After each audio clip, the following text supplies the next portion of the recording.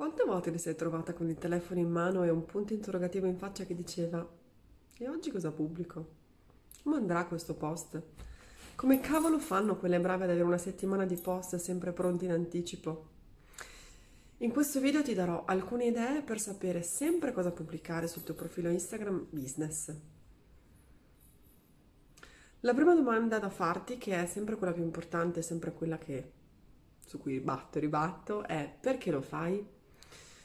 Ogni post che pubblichi su Instagram e sugli altri social ovviamente dovrebbe sempre aiutarti a raggiungere il tuo obiettivo. Ma su Instagram qual è il tuo obiettivo? Perché hai un profilo Instagram? Come puoi essere utile ai tuoi potenziali clienti? Senza la risposta a queste domande, mi dispiace dirtelo, ma non vai da nessuna parte non otterrai mai nulla dalla fatica e dall'impegno che metti su Instagram. Tanto per farti qualche esempio, potresti essere su Instagram perché vuoi trovare il tuo cliente ideale, anzi di solito è farti trovare dal tuo cliente ideale.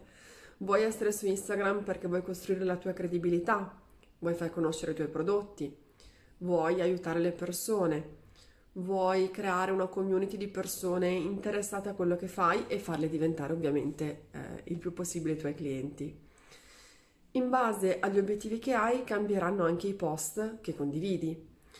Il trucco è partire dagli obiettivi che hai, ovviamente scrivendoli, e poi lavorare a partire da quelli al contrario, quindi spacchettandoli e partendo eh, a ritroso. Ad esempio, se il tuo obiettivo è costruirti una credibilità, potresti pubblicare dei post che parlano di, faccio un po' un elenco, il tuo processo di lavoro, testimonianze o recensioni dei tuoi clienti, delle persone che hanno già lavorato con te, Potresti parlare di quello che sai, delle tue competenze, ovviamente sempre con un linguaggio che sia pensato per i tuoi potenziali clienti e non per i tuoi colleghi, mi raccomando.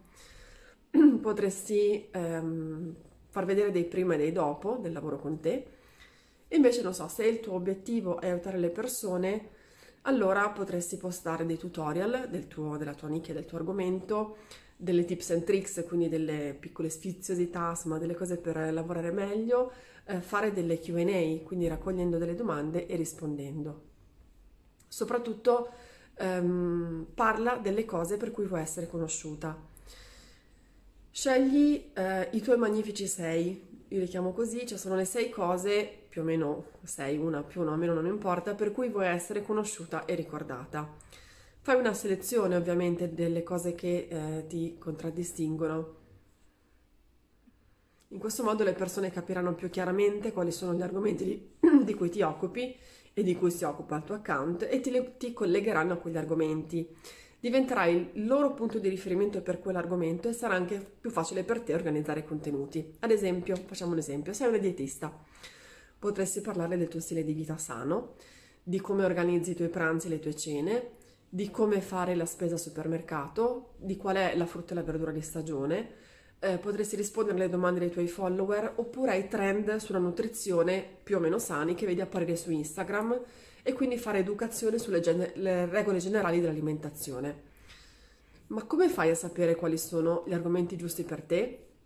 Devi pensare ai tuoi clienti, devi cercare di capire ehm, cosa li motiva, cosa li ispira, cosa li mette in difficoltà, um, di quello che tu sai, loro che cosa vorrebbero sapere da te? Quali sono gli argomenti che, i tuoi argomenti che loro interessano di più? Cosa ti chiedono più spesso? Cos'è che li manda in crisi? Cosa stanno cercando di raggiungere con tutte le loro forze? Non è la più pallida idea? Normale. Eh, chiedi direttamente a loro con un post su Instagram oppure puoi usare i sondaggi o le domande sulle stories. Ricordati sempre di metterti nei loro panni. Ovvio, eh, premessa, tu non sei il tuo cliente, questo è chiaro, però prova comunque a metterti nei loro panni. Eh, cosa vorresti vedere, imparare o sapere sulla tua nicchia? Se non ti viene in mente nulla, pensa a quello che ti interessa, interessa a te di altre nicchie. In questo modo elimini immediatamente dalla testa il eh, è banale, cosa vuoi che gliene freghi? Quando tu per prima vorresti sapere dietro le quinte di tutti i lavori tranne il tuo, sarà così anche per i tuoi clienti, i tuoi potenziali clienti? Mm? In che cosa sei brava?